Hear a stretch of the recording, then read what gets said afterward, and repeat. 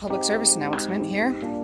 If you do this to a birch tree, it's gonna die. Most of the nutrients in a tree are carried up and down right in this layer, and this bark is what protects it. So if for decorative reasons you take away this bark, this tree slowly dies. Different kind of tree, but the bark has been removed all the way around it.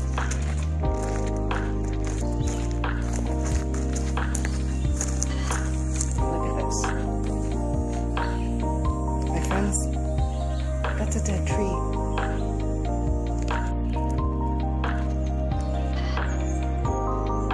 Very dead. Seems to be a problem in these neck of the woods. This tree's gonna slowly die.